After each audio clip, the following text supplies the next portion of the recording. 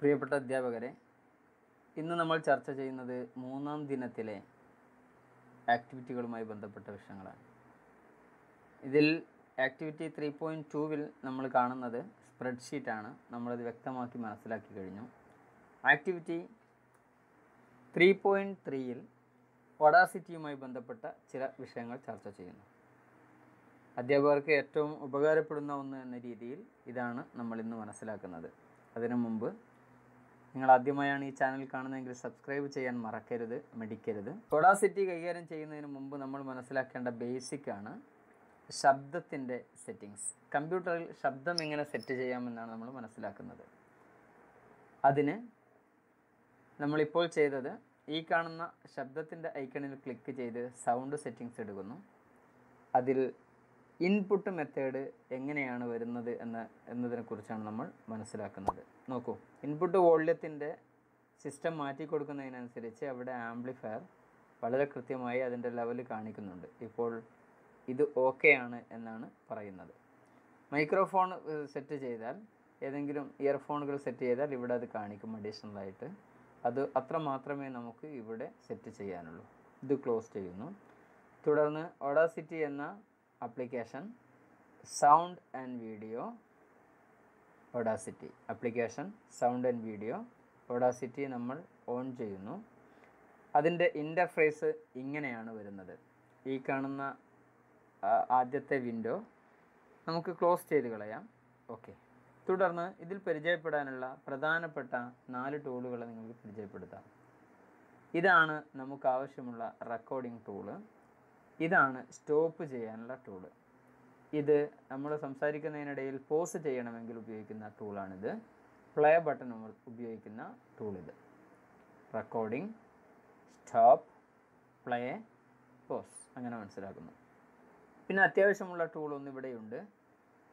ഈ ടൂൾ ഉപയോഗിക്കുന്നത് നമ്മുടെ റെക്കോർഡ് ചെയ്ത ശബ്ദത്തിൽ നിന്ന് ഏതെങ്കിലും ഭാഗം കട്ട് ചെയ്ത് ഒഴിവാക്കാൻ വേണ്ടിയാണ് ഈ ടൂൾ ഉപയോഗിക്കുന്നത്. ഇത് ക്ലിക്ക് ചെയ്തതിന് ശേഷം ഡ്രാഗ് ചെയ്ത് കൊടുത്താൽ എത്ര ഭാഗം വേണ്ട അത്രയും ഭാഗം സെലക്ട് ചെയ്തതിന് ശേഷം ഡിലീറ്റ് ബട്ടൺ അമർത്തിയാൽ അത് ഡിലീറ്റ് ആയി പോകും. ഇത്രയും കാര്യങ്ങളാണ് നമുക്ക് പ്രധാനമായും മനസ്സിലാക്കാനുള്ളത്. മറ്റൊരു കാര്യം ഫയലിൽ പോയി സേവ് പ്രൊജക്റ്റ് ആസ് കൊടുത്തിട്ട് അല്ലെങ്കിൽ എക്സ്പോർട്ട് ആസ് കൊടുത്തിട്ട് എം ബി ത്രീ കൊടുക്കണം. അങ്ങനെയാകുമ്പോഴാണ് ശബ്ദം എം ബി ത്രീ ലെവലിലേക്ക് നമുക്ക് മാറ്റം മാറ്റി കിട്ടുന്നത് മനസ്സിലായിട്ടുണ്ടാകുമെന്ന് കരുതി നമ്മൾ റെക്കോർഡിങ്ങിലേക്ക് കടക്കുകയാണ്. ഇത് വളരെ എളുപ്പത്തിൽ പറയാനൊരു കാരണമുണ്ട്. കൂടുതൽ സമയം ഇതിൽ ചെലവഴിക്കരുത് ഒരു അധ്യാപകരും. കാരണം ഇതിനേക്കാൾ നല്ല ആപ്ലിക്കേഷൻസുകൾ നമുക്ക് മൊബൈലിൽ ലഭ്യമാണ് എന്നതുകൊണ്ട് ഇതിൽ കൂടുതൽ സമയം ചെലവഴിക്കേണ്ടതില്ല എന്നതുകൊണ്ടാണ് ഇത്രയും വേഗത്തിൽ പറഞ്ഞു പോകുന്നത്. മൊബൈലിനേക്കാൾ വഡാസിറ്റിക്കുള്ള വലിയ പ്രത്യേകത എന്ന് പറയുന്നത് അതിന്റെ സൗണ്ട് മിശ്രണത്തിൽ എഫക്റ്റ് എന്ന ഭാഗത്ത് നിരവധി ഓപ്ഷൻസുകൾ കാണാം. ഇത് ഇതൊന്നും സെലക്റ്റീവായി കാണാത്തത് നമ്മൾ ഒറ്റ ശബ്ദവും റെക്കോർഡ് ചെയ്യാത്തത് കൊണ്ടാണ്. ഞാനത് റെക്കോർഡ് ചെയ്തിട്ട് ബാക്കി കാര്യങ്ങൾ കാണിച്ചു തരാം. നമ്മൾ ഉദാഹരണത്തിന് ഞാൻ പറയുന്ന കാര്യം തന്നെയാണ് ഇവിടെ റെക്കോർഡ് ചെയ്യുന്നത്. നോക്കൂ റെക്കോർഡ് എന്ന ബട്ടണിൽ ക്ലിക്ക് ചെയ്യുന്നതോടുകൂടെ തന്നെ അത് റെക്കോർഡായി തുടങ്ങിയിട്ടുണ്ട്. ഇത് വളരെ കൃത്യമായി വ്യക്തമായി അവിടെ റെക്കോർഡ് ചെയ്യപ്പെടുകയും നമ്മൾ റെക്കോർഡ് ചെയ്യുന്ന ഓരോ ലൈനുകളെയും ഓരോ വരികളെയും വളരെ കൃത്യമായി അടയാളപ്പെടുത്തുന്ന ലൈനുകളാണ് അല്ലെങ്കിൽ സൂചനകളാണ് അവിടെ കൊടുത്തിരിക്കുന്നത്. നമ്മളിതിവിടെ പോസ് അടിക്കുന്നു. തുടർന്ന് ആദ്യം എത്തുന്നതിന് വേണ്ടി ഈ ബട്ടണും അവസാനം എത്താൻ വേണ്ടി ഈ ബട്ടണും സ്കിപ്പിംഗ് ബട്ടൺ അഥവാ ഫോർവേഡിംഗ് ബട്ടൺ എന്നൊക്കെ നമുക്ക് ഇതിനെ സൂചിപ്പിക്കാം. സ്കിപ്പ് ടു സ്റ്റാർട്ട് ഹോം എന്ന് കാണുന്നില്ലേ? ക്ലിക്ക് ചെയ്ത് ആദ്യം വരുന്നു. നമ്മൾ അതൊന്ന് പ്ലേ ചെയ്യിക്കാൻ ക്ലിക്ക് ചെയ്യുന്നതോടുകൂടെ തന്നെ അത് റെക്കോർഡായി തുടങ്ങിയിട്ടുണ്ട്. ഇത് വളരെ കൃത്യമായി വ്യക്തമായി അവിടെ റെക്കോർഡ് ചെയ്യപ്പെടുകയും നമ്മൾ റെക്കോർഡ് ചെയ്യുന്ന ഓരോ ലൈനുകളെയും ഓരോ വരികളെയും വളരെ കൃത്യമായി അടയാളപ്പെടുത്തുന്ന ലൈനുകളാണ് അല്ലെങ്കിൽ സൂചനകളാണ് അവിടെ കൊടുത്തിരിക്കുന്നത്. നമ്മളിതിവിടെ പോസ്റ്റ് ക്ലിക്ക് ചെയ്യുന്നത് ഓക്കെ കാര്യങ്ങൾ മനസ്സിലായിട്ടുണ്ടാകുമെന്ന് കരുതുന്നു. ഇനി വളരെ പ്രധാനപ്പെട്ട ഒരു കാര്യം ഞാൻ ചെയ്യുന്നത് മാത്രം നിങ്ങൾ ശ്രദ്ധിക്കുക. എങ്ങനെയാണ് ഇതിലേക്ക് എഫക്റ്റ് കൂട്ടിച്ചേർക്കേണ്ടത് എന്ന് അതിനു മുമ്പ് ഈ ടൂളിന്റെ പ്രത്യേകത സൂചിപ്പിക്കുന്നു. ഈ ഐ എന്ന് കാണുന്ന ബട്ടൺ ഉപയോഗിച്ച് ക്ലിക്ക് ചെയ്ത് ഡ്രാഗ് ചെയ്യുന്നു. അത്രയും ഭാഗം സെലക്ട് ചെയ്താൽ ഡിലീറ്റ് ബട്ടൺ അമർത്തിയാൽ ആ ഭാഗം ഡിലീറ്റ് ആയി പോകുന്നു. ഇനി ചെയ്ത ഭാഗം റിട്ടേൺ എടുക്കുന്നതിന് വേണ്ടി നമ്മൾ സാധാരണ ചെയ്യുന്നത് പോലെ അൺഡു ബട്ടൺ ഉപയോഗിക്കുന്നു. അല്ലെങ്കിൽ നമ്മുടെ കൺട്രോൾ സെഡ് എന്ന ബട്ടണാണ് ഉപയോഗിക്കുന്നത്.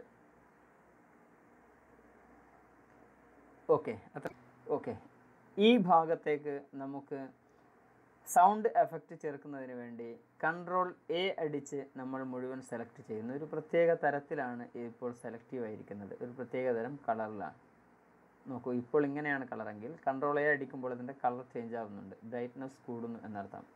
അങ്ങനെ കൂട്ടിയതിന് ശേഷം എഫക്റ്റ് കൊടുത്തതിന് ശേഷം പല ഓപ്ഷൻസുകൾ ഇവിടെ ഓൺ ആയിട്ടുണ്ട്. നമുക്ക് ഉദാഹരണത്തിന് എക്കോ കൊടുത്തു നോക്കാം. എക്കോ ഇവിടെയുള്ളത് വൺ ആണ്. ഓക്കെ നമ്മളതിന്റെ പ്രിവ്യൂ കേൾക്കുകയാണ്. ക്ലിക്ക് ചെയ്യുന്നതോടുകൂടെ തന്നെ അത് റെക്കോർഡായി തുടങ്ങിയിട്ടുണ്ട്.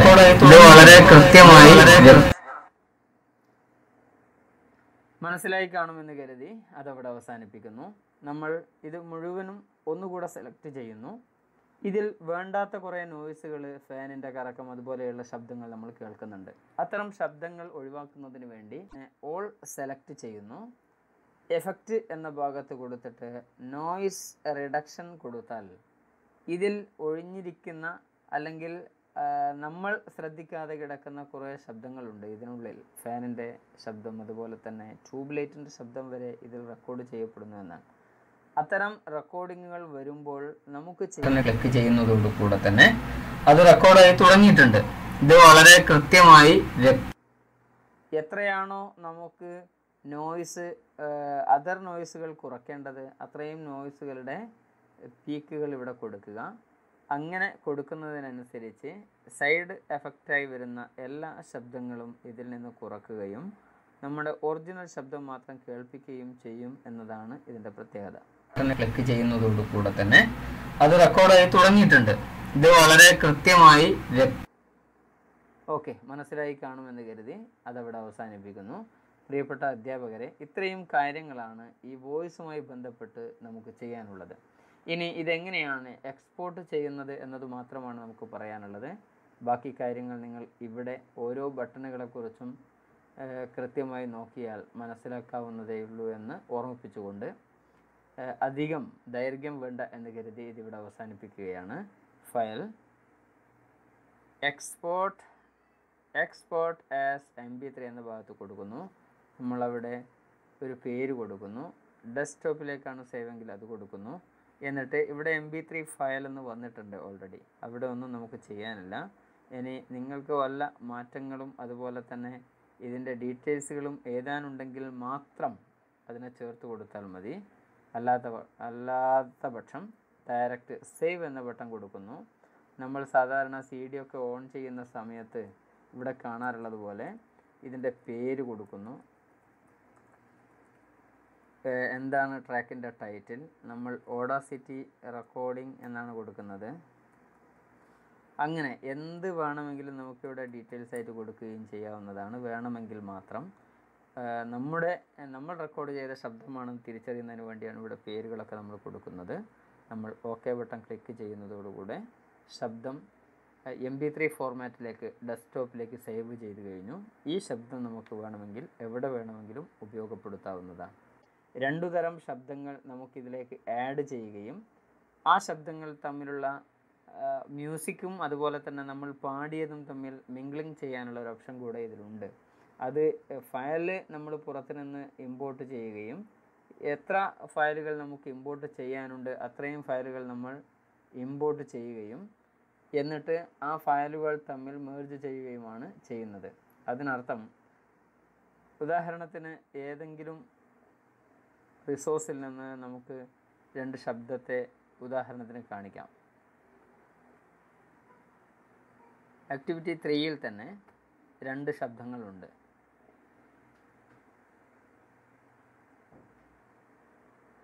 ഈ ശബ്ദങ്ങളെ നമ്മൾ ഓപ്പൺ ചെയ്യുന്നു. തുടർന്ന് രണ്ടും ഇവിടെ ഓപ്പണായി വന്നിട്ടുണ്ട്. ഇതിനെ അങ്ങോട്ടും ഇങ്ങോട്ടും ഒക്കെ നീക്കുന്നതിന് വേണ്ടി നമുക്ക് ഈ ടൂളാണ് ഉപയോഗിക്കുക. എവിടേക്ക് വേണമെങ്കിലും നീക്കുന്നതിന് വേണ്ടി. നോക്കൂ ഉദാഹരണത്തിന്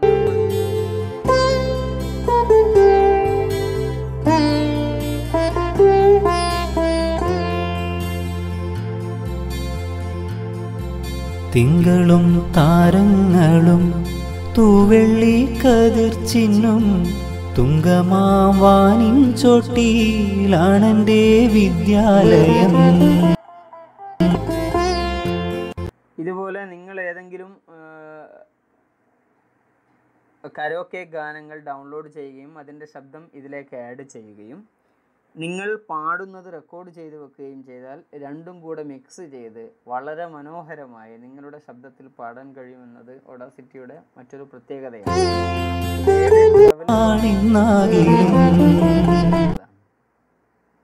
നോക്കൂ ബാക്കിലേക്ക് അതുപോലെ തന്നെ ഫ്രണ്ടിലേക്ക് ഇങ്ങനെ ഏത് തരത്തിലും നമുക്ക് മാറ്റം ചെയ്യാൻ കഴിയുമെന്ന് മനസ്സിലാക്കുമല്ലോ.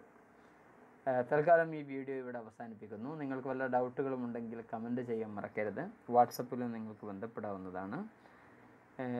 മറ്റൊരു പ്രധാനപ്പെട്ട കാര്യം നിങ്ങൾ പ്രിയപ്പെട്ട അധ്യാപകർക്കൊക്കെ ഇത് പരിചയപ്പെടുത്തി കൊടുക്കണം. മാത്രവുമല്ല നിങ്ങൾ സബ്സ്ക്രൈബ് ചെയ്യാതെയാണ് കാണുന്നതെങ്കിൽ ദയവ് ചെയ്ത് സബ്സ്ക്രൈബ് ചെയ്യണം എല്ലാ പ്രിയപ്പെട്ട അധ്യാപകർക്കും ഇത് ഉപകാരപ്പെട്ടെന്ന് ആത്മാർത്ഥമായി ആഗ്രഹിച്ചുകൊണ്ട് തൽക്കാലം വിടവാകുന്നു സ്നേഹപൂർവം ജാഫർ മണിമല.